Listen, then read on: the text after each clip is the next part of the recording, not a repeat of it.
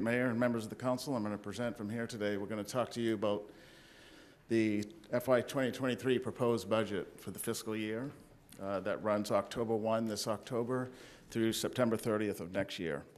So the city charter does require that the city manager present to the city council no sooner than, or no later than 60 days of, of the fiscal year, a budget for the city, and so that's what we're doing today.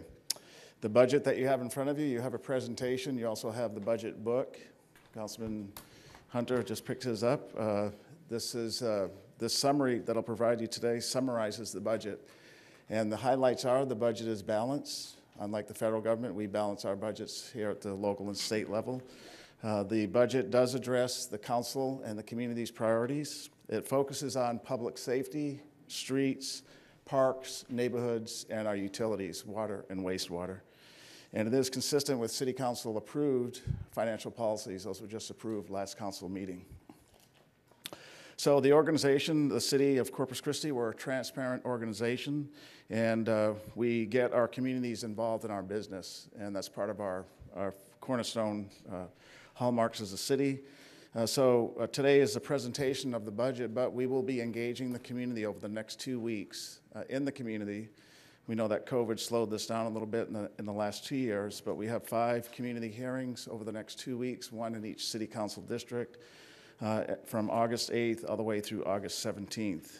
You can see the locations on the screen, and each one of these will start at 6 o'clock and conclude around 7 o'clock to help the community, one, understand the budget, uh, but two, get input from the community. Uh, each of the three budgets that I have done uh, with the council's engagement in the community, we've modified the budgets based on the community's interest and input at these sessions, so they're very important.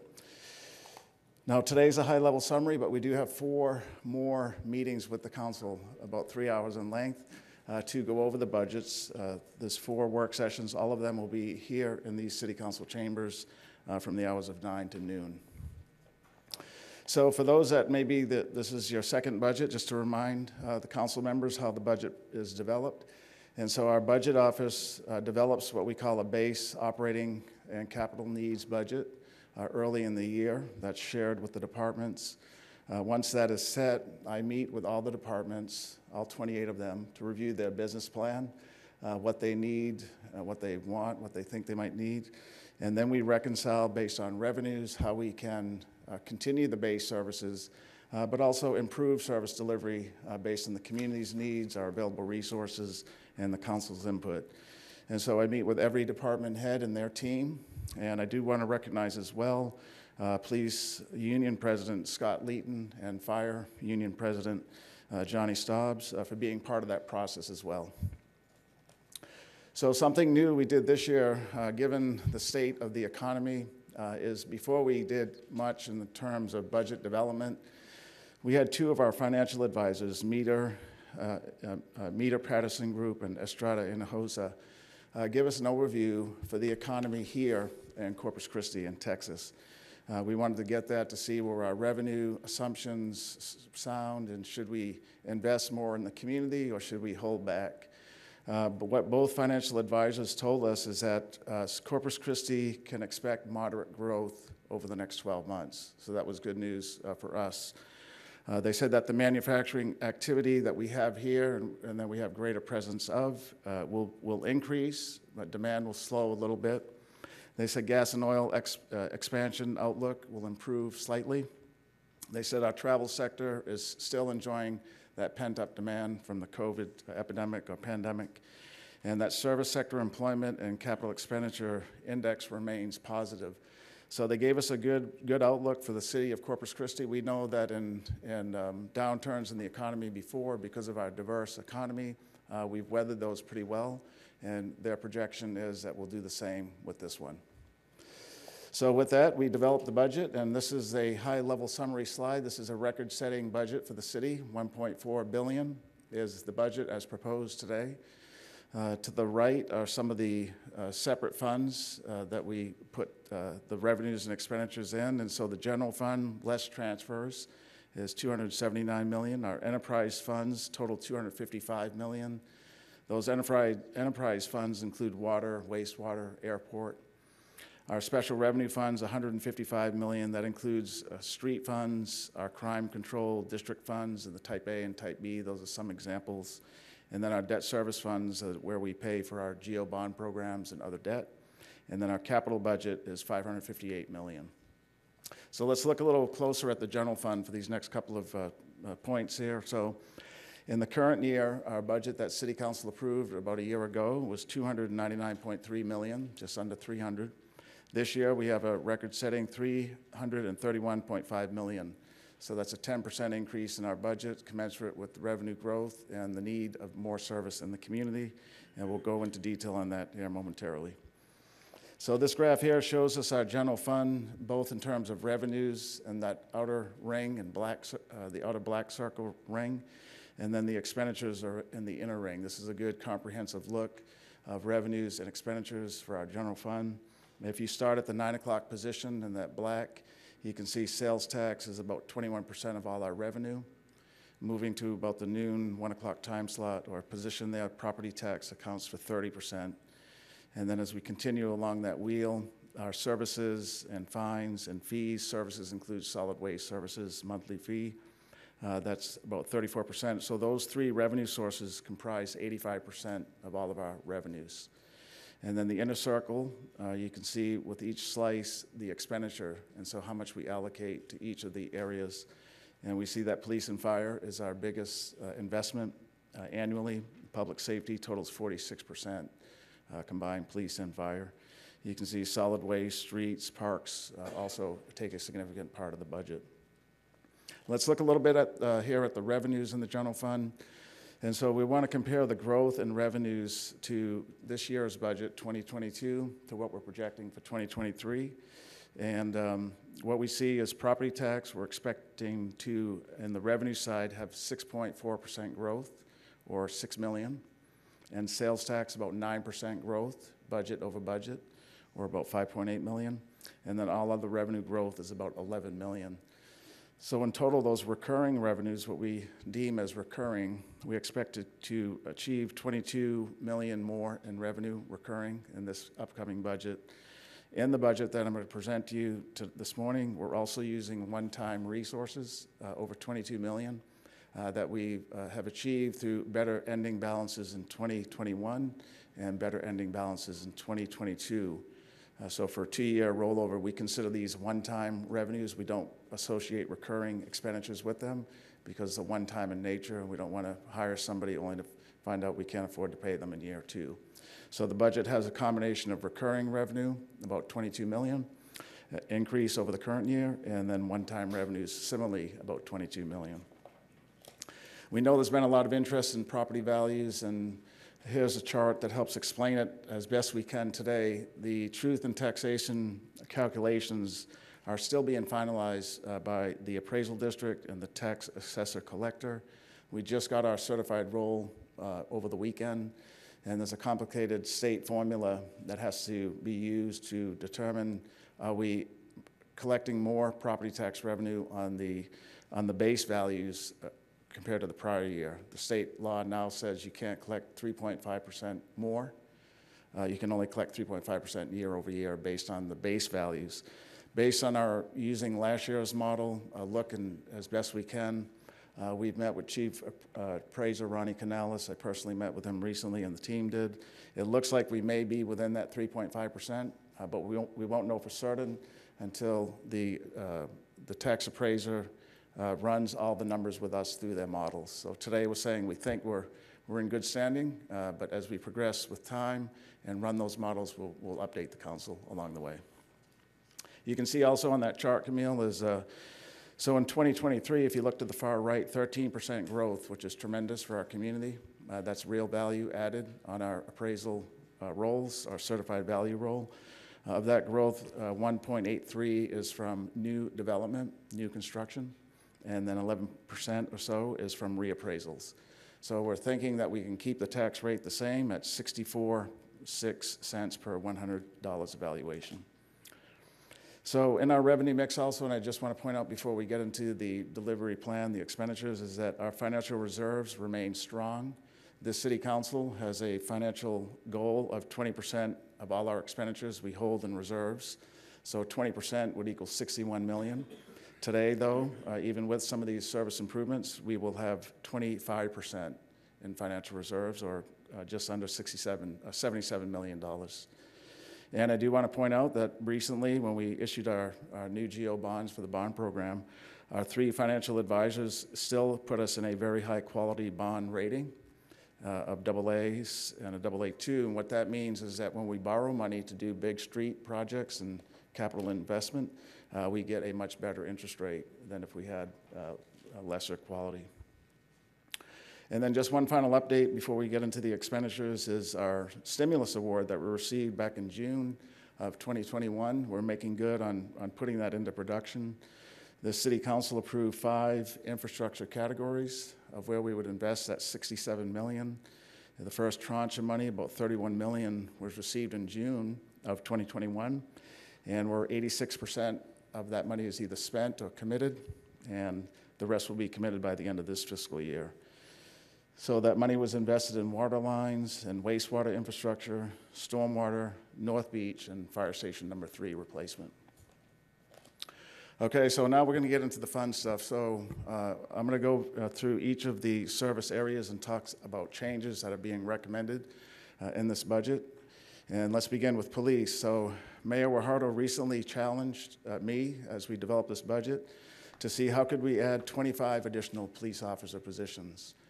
We know the plan was to add between five and 10, uh, but with that challenge, uh, we met, we're meeting that challenge today and presenting it to you, the full city council. This budget includes 25 more police officer positions. And this is a record. This, we look back, it's been decades uh, before, uh, in the past, since this level of new officers had been added. So this is a, an unprecedented uh, recommendation today.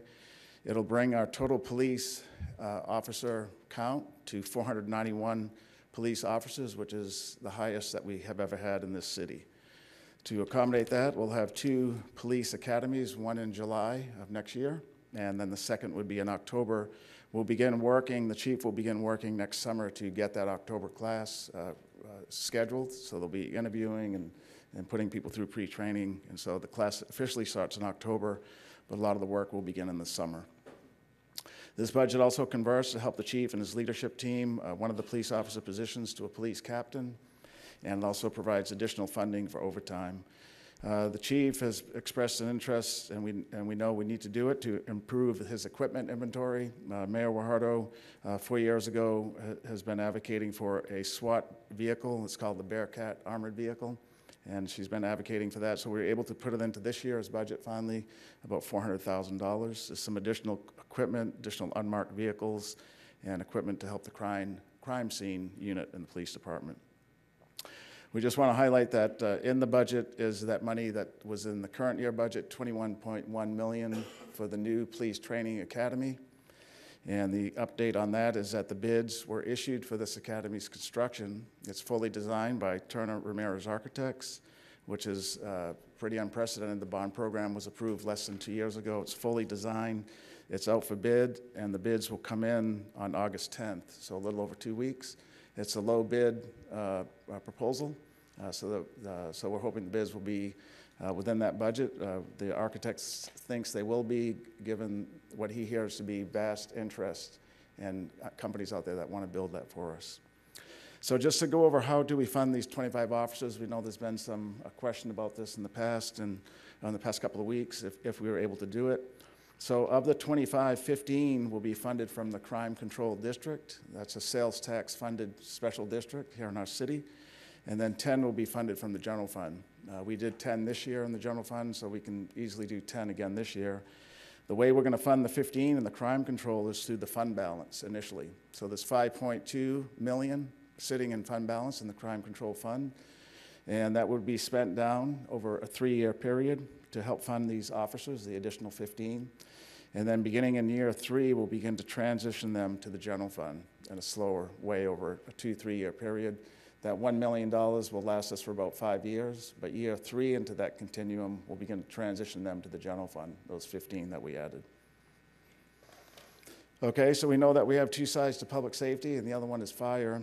and uh, Chief Rocha uh, recommended uh, a couple of initiatives that we're able to fund here. One, uh, for those veteran council members, has been something that uh, council members Smith and Hunter and even the mayor have been advocating for, which is getting more of our, what we call companies, our fire trucks, when they go out, whether it's a pumper or a ladder, getting more of them to have four firefighters on each one of those vehicles. Today, the majority have three firefighters that go out uh, when a vehicle leaves, when a, when a ladder or pumper truck leaves. Uh, the National Fire Protection Association staffing standards, the best practice basically, uh, recommends four firefighters on every company that leaves to a scene. And so this budget adds 18, or 16, I'm sorry, 16 firefighters to, mo- to move more companies, four more in fact, to four-person staffing. So we have 22 companies. Uh, Today, only four are four-person staffed. This will move another four, so we'll have a total of eight that'll be four-person staffed. And this is a five-year plan that Chief uh, and we in this budget are initiating. So over the next four years, we'll attempt in the budget to get all 22 companies four-person staffed. It's also something that every major Texas city's fire departments have already, and we're, uh, we're trying to get there. So this will be uh, step one in that process of a five-year plan. And then we're also adding eight additional firefighters to add another medic unit. And this year, it will be in station number 12 in the Cal Allen, Annaville, Tuloso Midway area. We know in the current year budget, we added one in City Council District 5 at the, at Yorktown at 17, Fire Station 17. We also knew last summer that we needed one in Station 12, and we said if we add another one this year, that's where it will go. It's based on call volume. And so in that Calallen area, we'll have at Station 12 an- another medic unit. We do have academy classes scheduled uh, in this budget, so there'll be, there's attrition in the fire department, just like in the police department, and so uh, we fully funded a uh, class. And I did want to recognize Chief Rocha that the first time in decades, every one of his positions is filled. Right, Chief? That's the first time, I think, in decades, he told me that's from funding these academies and having aggressive, he had the highest number of fire cadets in, in one of his most recent academies. So that's great news, and, and uh, we're, we're proud of it. In the equipment area, you can see several things here, including an alert system for firefighters in the station to alert them to the, to, to the call for service. And one I like the most is two replacement ladder trucks at 2.8 million. Uh, the two that these brand new ones will replace are aged and past their lifetime. Now, in this budget, uh, you can see to the left, I think maybe the first time you're seeing this, but this is a rendition of Fire Station Number Three. That was in the 2018 bond, pro- uh, 2020, I'm sorry, bond program. And also, we added some of that stimulus money to what we thought fully funded. However, at 60% design, our architect firm, BRW, is suggesting that the cost per square foot, because of inflation, supply chain, and labor issues, is going to be more like 550 a square foot instead of 350. So we have an earmark of 2.5 million of set aside in the event that bids do come in higher. So this station is fully funded with these additional 2.5 million that's in this budget. And then Councilman Pusley recently talked about, we have to finally get another EOC building going, and we know the council has talked about that. Today, we're in a, in a third floor of a building that's only rated for a category three hurricane, which is not gonna help us if we have a five. So we're putting a hundred thousand recommendation in this budget to study this, this uh, new EOC. Where could we put it? Who would be in there? Would it be just the city? Would it be the city county? Would it be other counties? How much space do we need? And so we have to get serious about this, so $100,000 to begin that process once and for all about building a new EOC center. We're going to move to what is in our communities their most important uh, uh, initiative, which is our streets. I really do like this chart that we put together because it shows continuing increases in streets. This year, we have a 12% increase over the current year budget, and that top gray box is the one that most of our community is focused on, which is our residential streets. So that increases to 24 million from the current 18 million. There's 15 million more dollars, or a 12% increase, for a total of 136 million in this year's budget.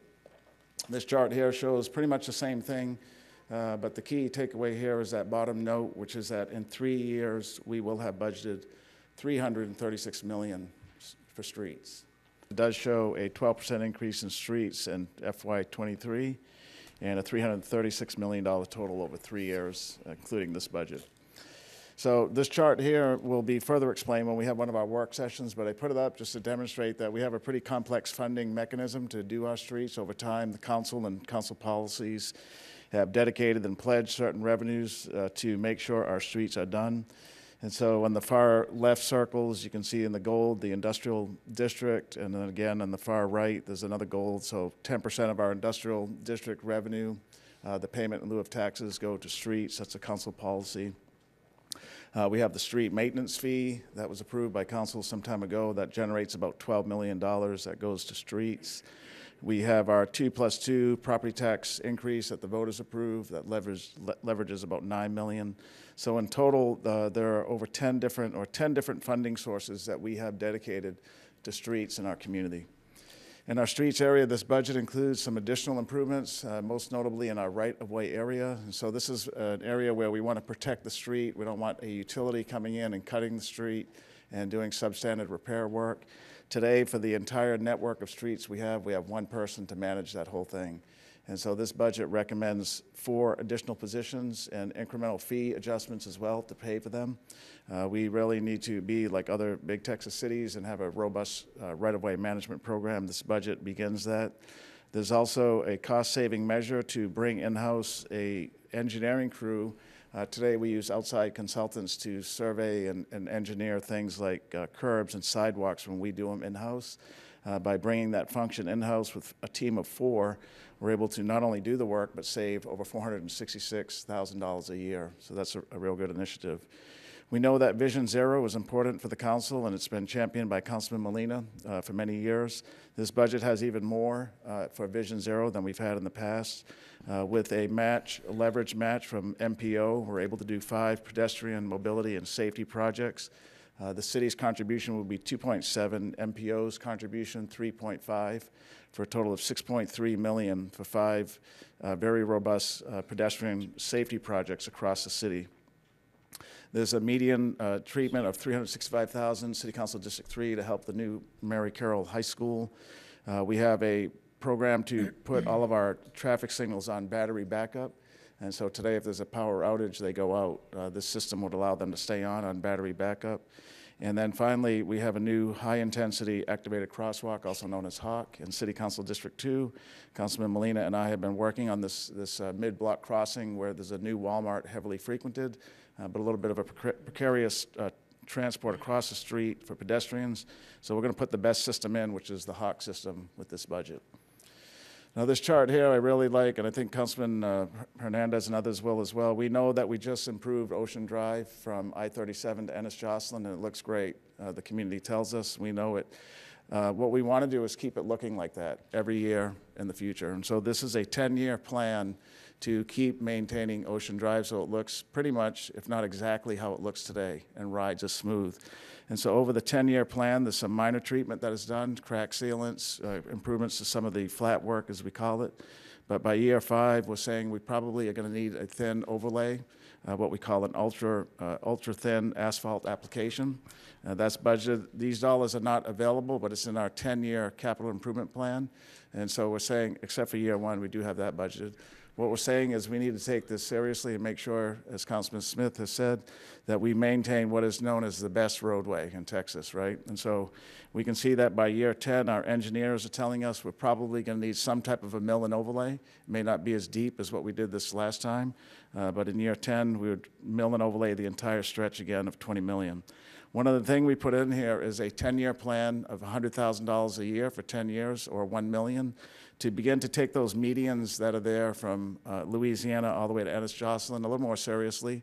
There's a total of 94 medians, and the, it's a hodgepodge of landscaping and other stuff. And so we have 100,000 in this budget, and we're recommending 100 for nine more years, 100,000 so that over the 10 years, those medians will be redone, reimagined, starting with this year with a master plan to see how we can treat each one of them.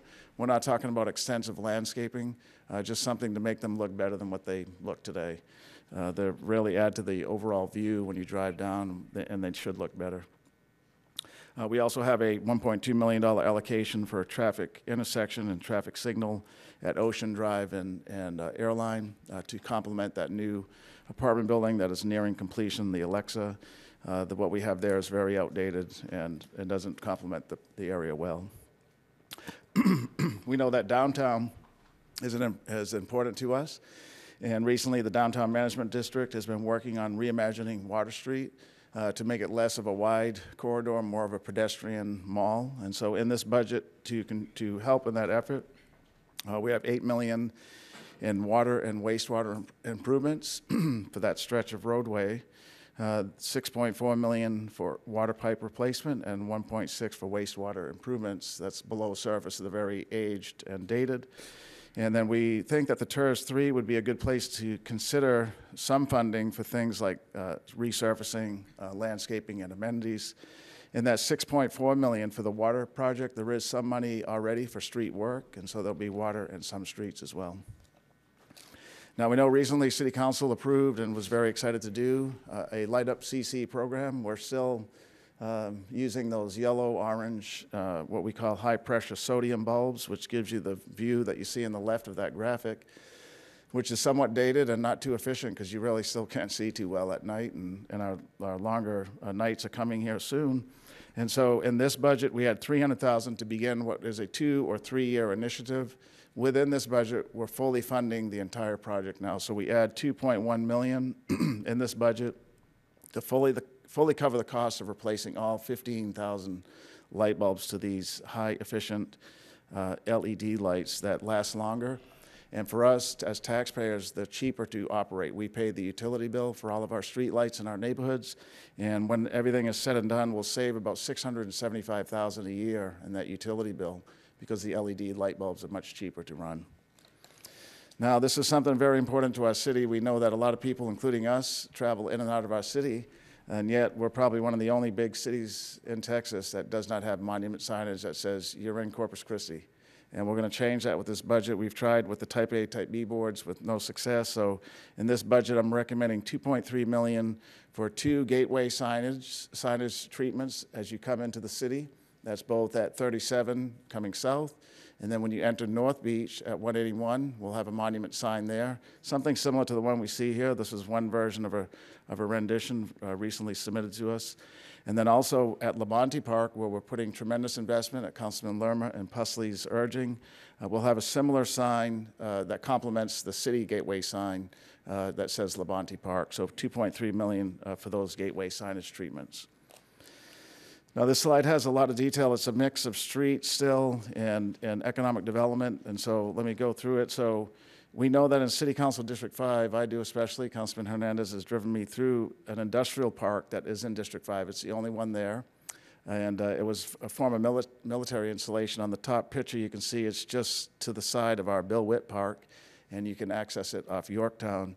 Uh, when the city, when the military kind of sold this off, I think in the 50s or 60s, the city acquired some of the streets, and then private landowners acquired some of them as well.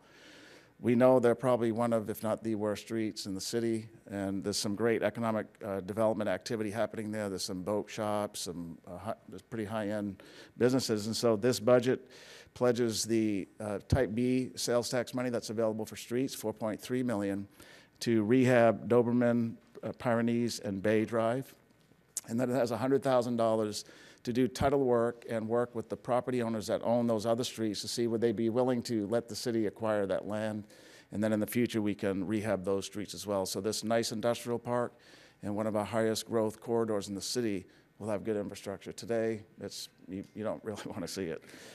Now, uh, Councilman Lerma and I recently traveled his district. We spent the whole morning together, and what we recognized, and he knew it already, as well as uh, Councilman Pusley, is that Leopard Street needs some attention. This is an old corridor in and out of the city before 37 existed. We looked particularly at Lantana to Tuloso uh, because the, the street is not in all that great shape. Councilman Lerma, to repave that entire section, uh, which is about five miles, would be $100 million. So it's very pricey. So what we want to do in this budget is uh, we've allocated $500,000 to do an engineering assessment and strategic plan for how do we, how do we tackle this? Do we have to replace all the utilities? Do we still need two lanes in each direction with a, a, a divided median, a landscape median? And so that'll help us begin to study this and put it on our books to address. We can't not address it. It's five miles of an important roadway. There's a lot of uh, industrial support systems there, small businesses, and neighborhoods. And so that $5 million will finally set a plan in motion uh, to where we can finally address this through future bond programs, piece by piece. And then also, we recognize that even on Leopard Street, there's still some great small businesses. Uh, many cities have, and we have it in our downtown area, what we call a business facade match program. And so this budget includes 250,000 as a leverage match. So as a business wants to improve how their business looks in the front, uh, we'll give them some dollars if they bring some to the table as well. Uh, so that'll help rejuvenate some of those businesses. And we know that our industrial development agreements uh, that we have with many of our industrial partners here in the city expire in 2024. We have an internal city team that we already kind of know who is going to be on that team, but I want to bring some experts in from either Texas or across the country to help us uh, to make sure we're getting the best value for us, the city, but we're also being fair to the industry. And so we have $200,000 to bring in uh, consultants to help us when we renegotiate those contracts. We know that under the leadership of Robert Dodd, finally our Parks and Recreation Department, at least in the three years I've been here, will, uh, is beginning to take shape. Uh, uh, Robert Dodd and his team are focused on some of the key things in the parks. We know there's a, a wide array of what things that we have to address, but we're focused on a few. So in this budget, more amenities for some of our park system, better park maintenance, and better beaches. That's the theme that Robert Dodd recommended. So in more amenities, we have $2 million to, to provide certain amenities in all of our parks in all five city council districts. A shade structure treatment for the Cole Park Plaza, which has uh, turned out just to be too hot without any shade structure. There's some on the periphery, but not enough. A new dog park in Flower Bluff. We know Councilman Smith has been uh, interested in that as well as the mayor. And then funding for lighting at Swantner Park. That's one of our chain of parks along the bayfront. Councilman Molina and I recently talked about it. The parking lot could use some additional lighting to make sure it's safe at all times. So 250 for that. In park maintenance, this is an important initiative the mayor has been talking about and many of the council members that frequent downtown. Uh, we want to put more attention on the bayfront, the bay, bayfront parks, five dedicated staff persons, Councilman Lerma, especially focused on Selena, uh, the Selena Mirador and Shrine, really. That'll improve cleanliness, improve customer service, uh, and security in those areas. Funding for a separate contract to do our athletic fields mowing today, as uh, Robert Dodd told me, they take crews off for mowing the parks and bring them to the ball fields. It's not a good mix because both sides aren't really getting uh, good maintenance. And so this would add a dedicated crew just for our athletic fields, and we have a lot in our city. We have maintenance. Th- this one of the things we're doing in our budgets is when we build something, we put dollars in for maintenance. Councilman Hernandez has talked about this a lot. So three new things that are coming online that were included in this year's budget and in prior funding budgets is a West Guth and a Sherwood and District Two dog park. So 66,000 is included in this budget for better maintenance of those new facilities, so we can keep them looking good. The same thing on in City Council District Four, the North Padre Island Beach Storage Facility. We want to make sure that looks nice all, at all times, so $100,000 to improve the maintenance there.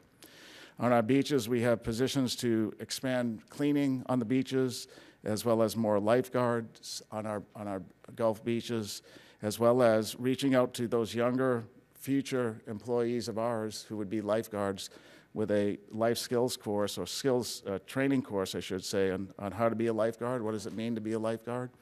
As well as an education campaign going into the schools and talking to children about safety on the beach.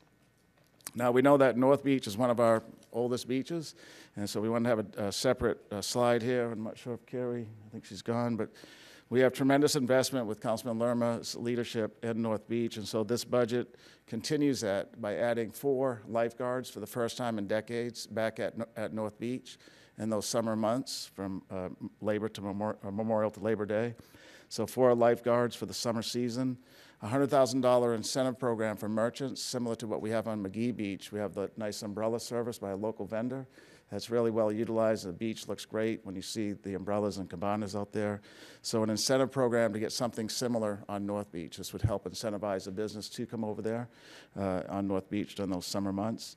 We have 835,000, Councilman Lerma and, and Pusley, in the budget for the historical plaza shade. We know we were there not too long ago with a nice ribbon cutting. We want some shade so people can really stay there for a while and look at those nice interpretive signs.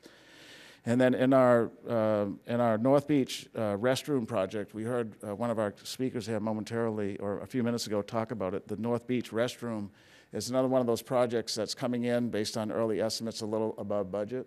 So we have 2.2 in the budget for construction. Uh, This project has a little bit of additional amenities that were added more than what we thought when we did the bond program, and some inflationary issues, so 2.5 million more to make sure we do this right. So this is going to be a brand-new restroom, you can see it in the picture there, removing that dated one that's blocking the beach and the view, and it's really not the safest because you have to walk around the beach to use it. It has a brand-new parking lot and a brand-new playground with real nice play equipment, barbecue benches, and so on.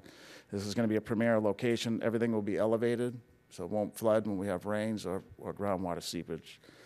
And then finally, $100,000 uh, is in the budget, as our speakers have mentioned, for the North Beach Eco Park that Councilman Pusley recently talked about. We know there's some initial design plans. The $100,000 will advance them and help us on the right path of how exactly we're going to do it.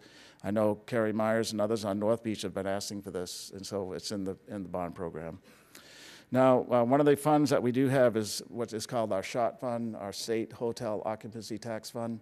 And that fund has, has generated a pretty significant fund balance in, in years prior to me being here and even while I have been here.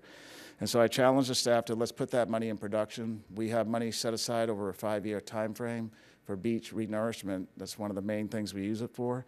Uh, but the staff has come up with a plan to put a brand-new restroom facility, not porta potties or skitter cans, but a brand-new permanent facility right on our Gulf Beach at Zahn Road, adjacent uh, the Packery Channel. It'll be a, a brand-new restroom facilities, uh, male, female restrooms, uh, and then also some storage room for our equipment that we use on the beach, as well as rest, uh, lo- locker rooms and an area for our lifeguards, which today they don't have any. So uh, that's a great initiative there on the Gulf Beach. Economic development is very important to the city council. Uh, we know that, we talk about it every week. Uh, only in the 80s, I think, did we have something about maybe an economic development department here, or some semblance of one, some of the former staff told me.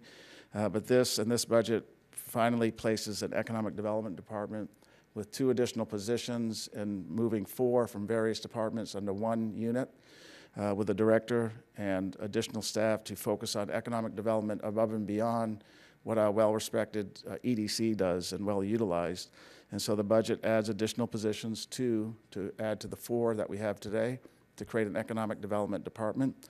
Uh, That department will work real closely with the mayor's office, who often is the first call uh, small businesses make or new businesses make when they come into the city.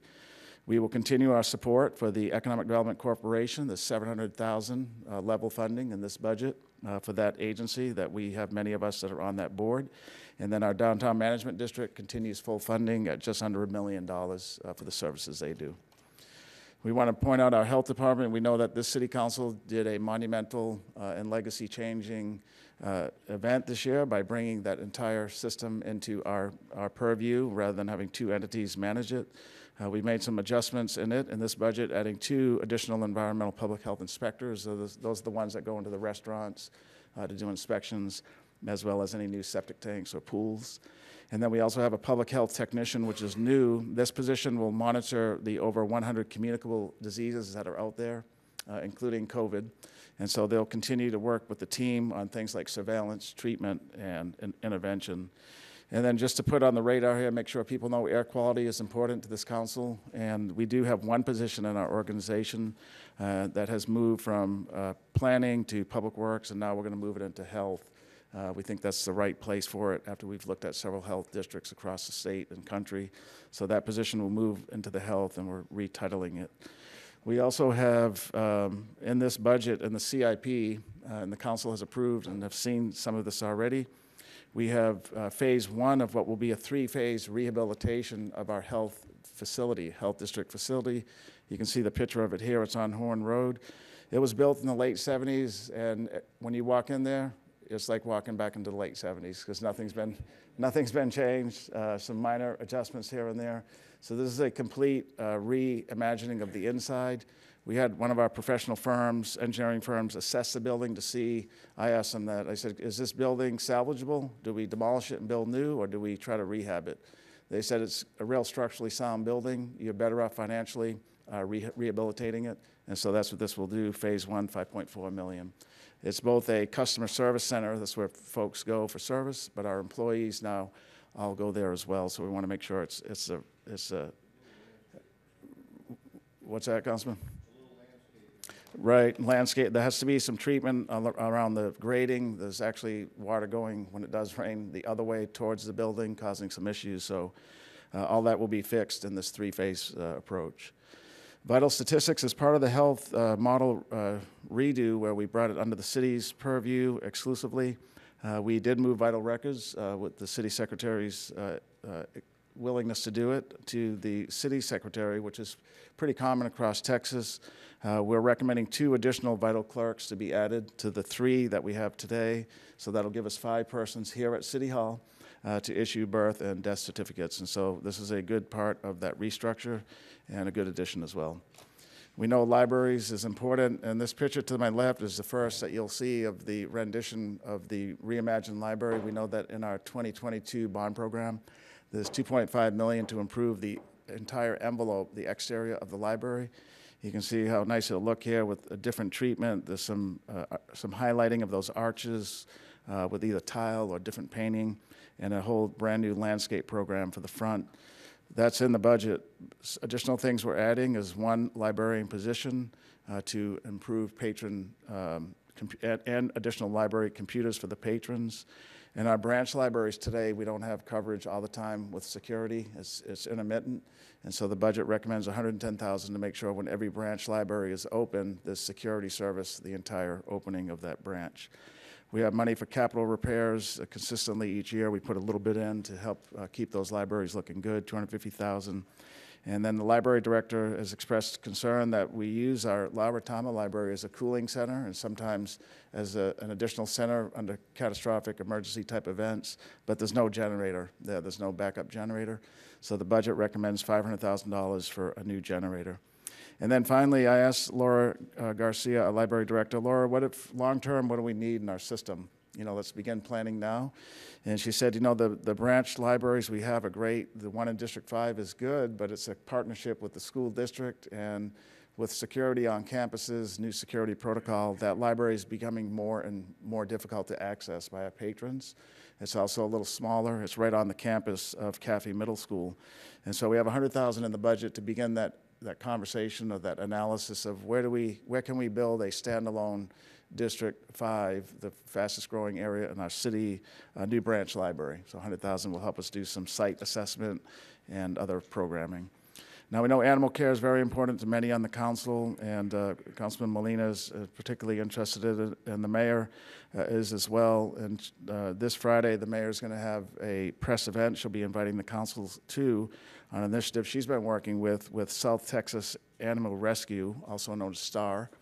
And it is a spay neuter mobile van service or mobile clinic service. Uh, in our budget, we have $30,000 for that partnership. We're recommending in this budget 500,000 additional dollars to maybe expand that particular uh, venue with Star or to see if there's another one that will work because the goal in our animal care area is to reduce uh, the pet population, the stray pet population, and we know that spay neuter is step one in doing that. And so we have 500,000 recommended in this budget for additional spay neuter services, more positions at the at the actual animal care facility, including more kennel attendants, as well as uh, additional veterinarian assistants. By adding one more veterinarian assistant and converting a temp, we'll have two teams of veterinarians, a veterinarian and an assistant, and, and that'll be times two. Municipal Court, we want to thank new, uh, we want to thank the new leadership, or we want to thank, I should say, the Honorable Presiding Judge Jackie Chopper for new leadership in Municipal Court. We still have some work to do there. In this budget, we're recommending a municipal courts review at 50,000, looking at the business processes more on the administrative side, not the judicial side, to see things like how do we communicate with the customers, the throughput time, our collection rates. So 50,000 to help that study. And to address some of the customer service concerns, we're recommending two court clerks, as well as on the magistration side, increasing part-time judges, judges' hours uh, that budget so they can do more magistration on evenings and weekends and holidays. Communications is an important part of our business here in the city, making sure our community knows what we're doing and they have a, a good sense for what we're doing. We know many council members and the mayor were at our unveiling of our new 311 number and call center. Uh, this money, uh, this budget adds some additional dollars for overtime to make sure we have good representation at the call center.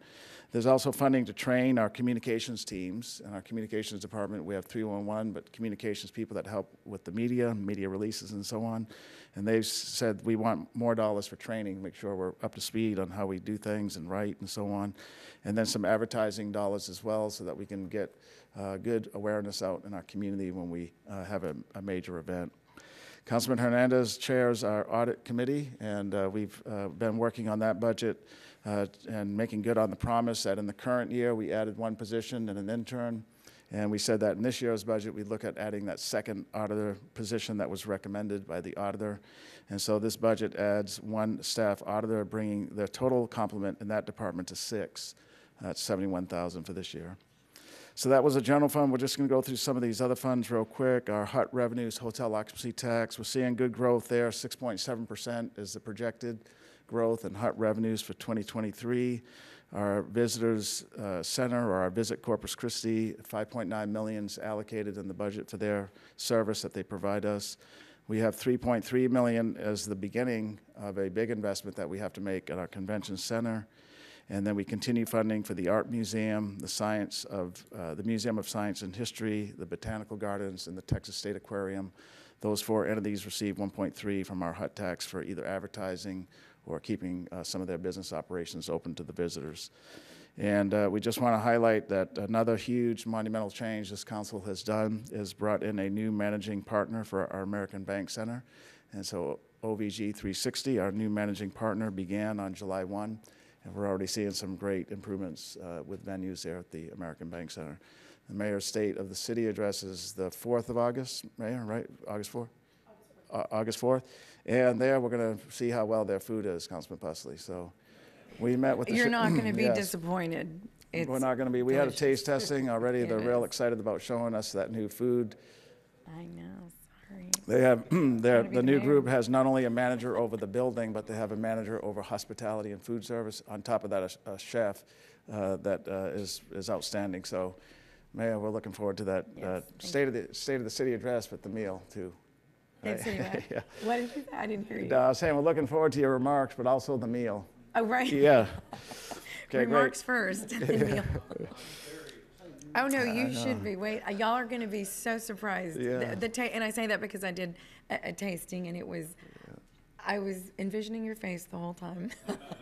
Yes. it was going to be so delicious. They were doing an amazing job. Yes, they do. So staying in our, our focus area of, of, of uh, uh, visitors and, and, and the destination airport does have uh, nearly $7 million. a lot of this you've seen already, but we just want to highlight it.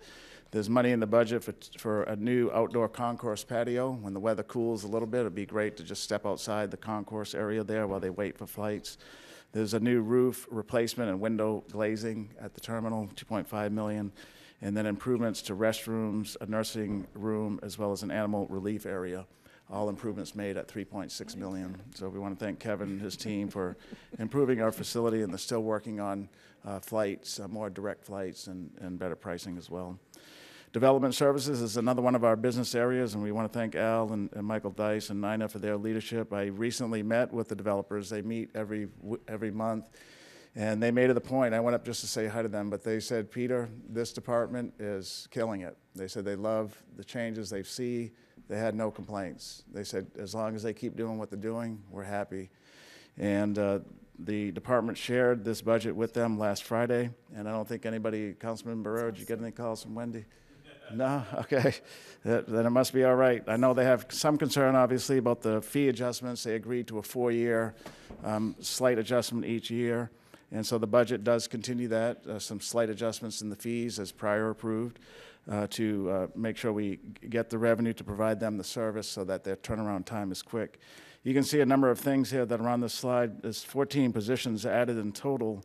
Uh, What this will do is increase performance and plan review and increase turnaround time in field inspections. And that's all very important uh, to the development community. So some good improvements there.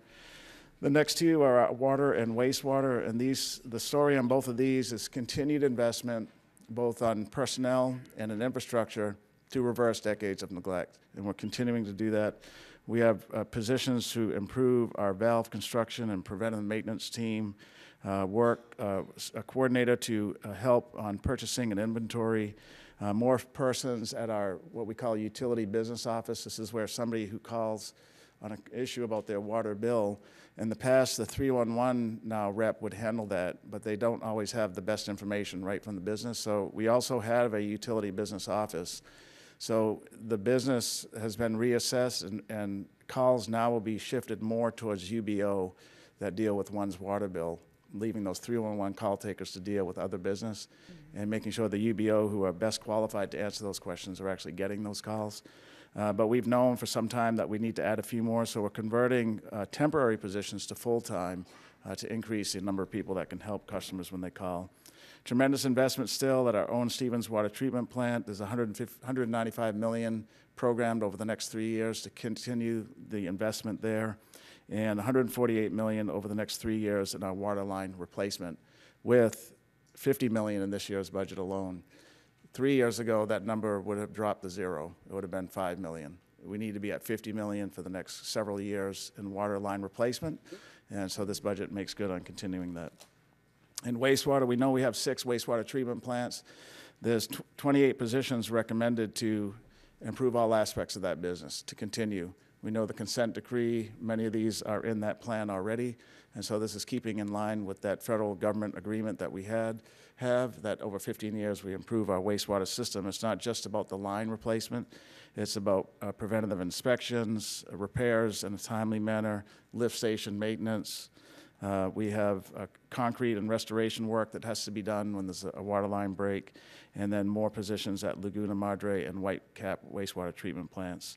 All six wastewater treatment plants continue the investment that we started several years ago. There's 157 million uh, in the plan over the next three years, as well as 66 million in the next three years for lift station. We have over 100 lift stations in our city, and so all those need some type of improvement, and the plan is in there to do that.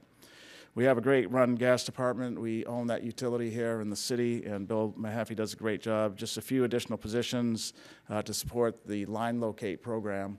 So today, when I, anybody, doesn't matter if it's us, a private sector company digs, they call our, a number, and we handle the majority of those line locates. Bill Mahaffey's team does.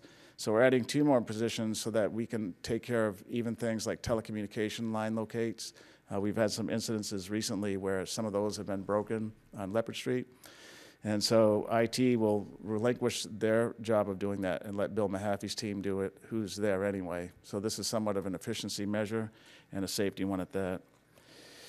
Okay, now this next one, stormwater, uh, we'll have Public Works go over this in much more detail. This looks real busy here, uh, but this is an important one. This is another legacy reversal that this council has addressed, which is for the first time ever, the city has a stormwater program. We didn't have one before.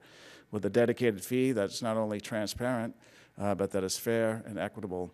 And so in the yellow, you can see year two of what is a five-year plan. This shows six years, but we had a five-year plan laid out uh, that said we'd have a slight fee adjustment each of the five years so that we can bring more and more service into the community. Things that the city was not doing, like sweeping streets. We weren't sweeping any streets anywhere uh, three years ago. Today, you can see kind of midway through, we're doing residential, collector, and arterials. And you can see today we're doing residentials only twice a year. Ultimately, we want to be at four times a year in this plan. Collector streets like a Staples or an Everhart, we're sweeping those twice a year, but we want to be 12 times a year, once a month. And they, and they need it. Uh, every time I'm driving down there, I call up and tell the guys, this, we need these things swept again if we can. Arterials like a Lipes or an Oso Parkway or a Whitecap Boulevard, we're doing those eight times a year. We want to do them every month, uh, ultimately. This budget focuses on uh, stormwater inlet cleaning. So you, when you drive down the street, you see the inlets uh, where water goes into. If they're clogged or if they have debris inside, the system's not going to work well, or all that stuff that's in there is going into our bays and estuaries and creeks.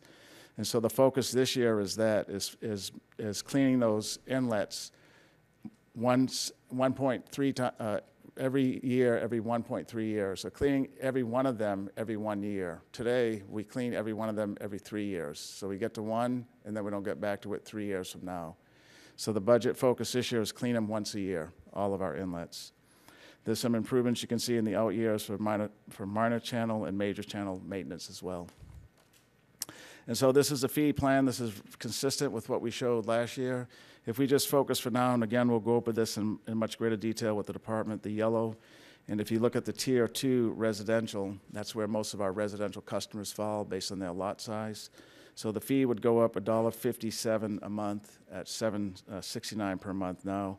We will continue, though, to have this uh, uh, uh, monthly rate uh, program, adjustments, uh, utility assistance program. And so if somebody who qualifies can't afford the $1.57 per month, uh, we'll take care of it for the first year. We have the same program today, and several customers are utilizing that.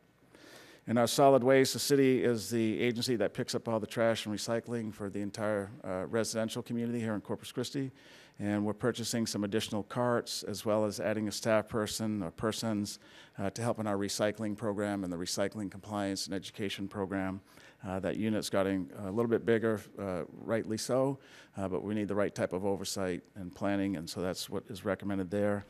In this operation, uh, two, we're recommending a rate increase of $1.15 a month. It's been four years uh, since we've had a rate adjustment. And we know nobody likes rate adjustments, but just the cost of diesel fuel alone is uh, outstripping the revenues that we have for this operation, as well as things like our own recycling carts. Those are made out of petrochemical products. And we're seeing a huge increase in the cart cost as well, not to mention the increase in labor over the past four years. So this is a good chart here that shows all of our rates. Uh, we know that there's no change in our property tax rate, no change in our water or wastewater rate, no change in our gas delivery rate. Uh, we have a pass-through charge, so if gas prices go up, those get passed on to the customer, but the operational cost won't change, the same delivery cost. And then the stormwater has that $1.57 for the typical customer and $1.15 for solid waste as well. Our capital budget, this is a busy slide, and we'll have our engineering uh, director, Jeff Edmonds, go over it in greater detail when he presents. Uh, But a pretty robust capital program, 617 million, the largest in the city's history. You can see our focus is on water, wastewater, streets. As you can see there, stormwater as well. Let's talk a little bit about employee compensation as we close out here. So uh, we know we have over 3,900 employees. And uh, we know that inflation is gripping everybody. And so this budget recommends a 4% cost of living adjustment, a COLA, for all civilian employees. It sidesteps what we've had for the past three years, which is a performance-based system. So we're not going to do that this year. And in lieu of it, there'll be a 4% automatic cost of living increase on October 1 for all civilian employees, regardless of, of uh, their position title. Uh, we did check this with uh, what others are doing here in Corpus Christi and the state, and we ran it through our financial advisors when we had that first meeting with them. And they said, "You ha- Peter, you have to do this. Uh, the inflation is just eating people's lunch, and we have to get immediate relief uh, to our employees. And so that's why we're recommending this today. Uh, the 4% is pretty much in line with what other entities are doing here in our city, and it's consistent with what other uh, cities are doing in Texas. Uh, We know that the police and fire unions' wage increases are governed by their collective bargaining agreements, and so those go in, in place automatically and are funded. And we just did want to highlight out that we'll begin the new agreements uh, in '23 for police. We'll begin to, the negotiating uh, for theirs, their four-year contracts coming up, and then fire will begin in 2024. Uh, But again, we have a great working relationship with both union presidents, um, Leeton and Sobs, and we appreciate that working relationship. Uh, Many cities don't have that, and we're, we're fortunate here to have it, and uh, we respect it a lot. So uh, two sides of the equation for our employees is uh, pay, but healthcare is a big part of any employee package. Uh, We got some great news here. The city, because of our change three years ago to a consumer-driven healthcare plan, uh, meaning the city contributes some dollars to the employee and they have to help us manage their healthcare costs. Uh, That is a very popular plan that many cities have gone to. The private sector use, has been using it for decades, but um, uh, uh, this, the highlight for the city, for our costs, is that uh, police medical insurance premiums paid by the city are projected to remain flat. So for all our police officers, uh, they're all on the CDHP plan. No increase on the taxpayer or the city for their plan. On fire, we have some great news. The fire has been migrating away from uh, their, um, their PPO plan to the CDH plan. And we're glad they are because there's a 10% decrease in the PPO cost to the city, a 10% drop. And uh, there's also a, a 12% drop in the CDH plans when it comes to firefighters, which is saving the city $700,000. And we told uh, the fire union president and we tell the council that that 700,000 in savings, where you're still getting the same or better health care, helps us do things like buy ladder trucks that are 1.2 million, right? So the more we focus on being wise in how we use our taxpayer dollars, overall, the better we can run as an organization. And then on the civilian side, we're seeing some increases in that PPO of 11%. And so we're working on that. We want to try to migrate more of our employees to the PPO, I mean, the CDHP, I'm sorry, the Consumer Driven Healthcare Plan, because this year we're seeing a 10% decrease in costs there, which is a great move. So this is even better news for the employee who would get that 4% cost of living adjustment, should council approve it. Uh, for the average employee that's on the consumer driven healthcare plan, they will see a 10% decrease in their payroll deduction. Yes, meaning it's cheaper for us to provide them healthcare costs for us and them as well. So they're going to get extra money in their paycheck, a 10% decrease in what they have to pay if they're on the consumer driven healthcare plan which is great. That's for the employee plus family. There's three different plan types uh, to include employee only.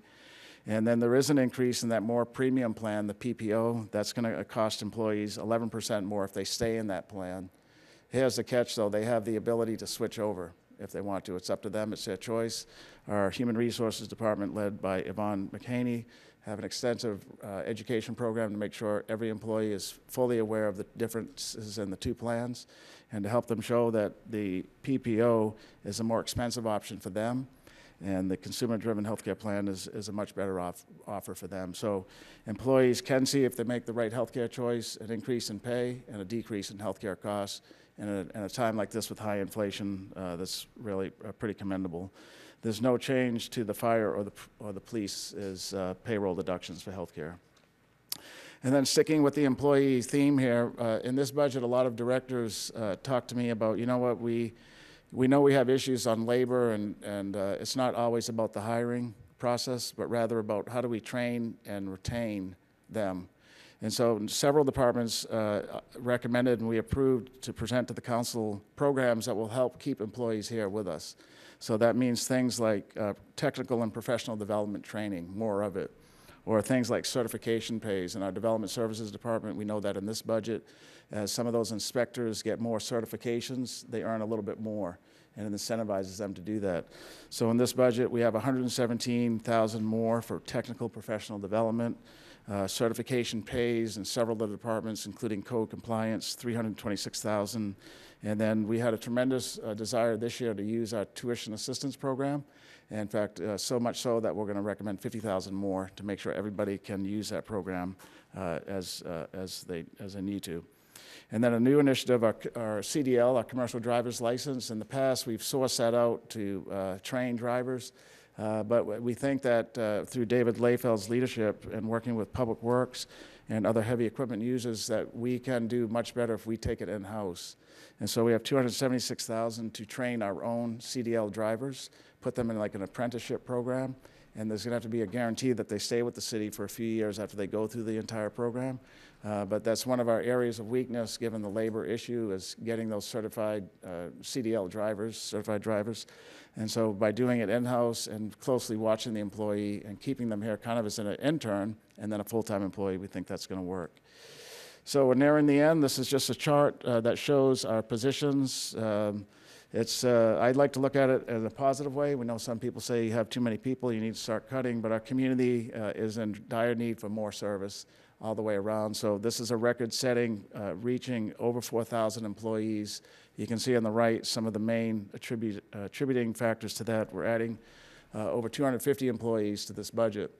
Uh, some of those are in the form of police and fire. Uh, some come from the transfer of the county employee. We hired all the county employees as part of that health district remodel. Uh, and so a total of over 4,000, but every one of these employees, we know and we hear testimony constantly of how much the community uh, benefits uh, from their service and how much they rely on it. So, uh, some next steps coming up for the council and the community is we do have, as I mentioned, uh, four council budget workshops. We'll go into much greater detail uh, in all these high priority areas. We have five community input sessions that matter. Every budget in the past three years that I've presented to council, after going out to the community, even via uh, WebEx when we had the, the pandemic, we made adjustments to the budget to reflect the consensus of the community. Uh, we have public hearings here in the council chambers, and then a first reading on the budget August 30th, and then budget adoption on September 6th. So, Mayor, before I conclude, uh, we do have to highlight some of our employee teams that, uh, that have helped make this possible. Uh, we know that our budget office has worked extensively uh, over the last several months, uh, giving up their Fourth of July break, their nights, even their weekends. We've been, all of us have been here the past couple of weekends. So I want to point them out. They're here in the audience with us, but Constance, we know Constance Sanchez, our Chief Financial Officer, is the lead. And Eddie Houlihan, our Budget Director, is here with us. Thank you, Eddie. And then over there, we have Christine Garza. Christine, yeah, Camille Taurus is here. Camille, great job. We have Melinda Cantu Martin, Donna Vickers, Vanessa Sanchez. Uh, new is John, uh, not new, but John uh, Juarez, right? There you go, John. And then JR is new, JR Barantitos, right? Okay. And then Kelly Davis as well. We want to give these fine uh, uh, men and women a round of applause for the work that they've done. Right?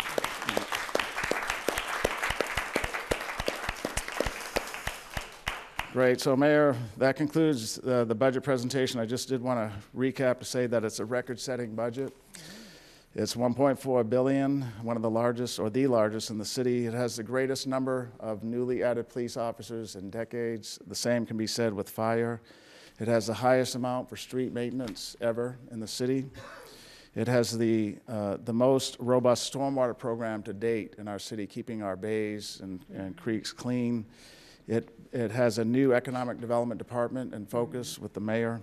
Uh, it has the biggest budget for spay neuter services ever in the city to address our pet population. And we do this with the greatest number of employees, over 4,000 uh, well trained uh, professionals, and all of our 28 departments will help uh, advance the city forward. So, Mayor, that concludes this presentation.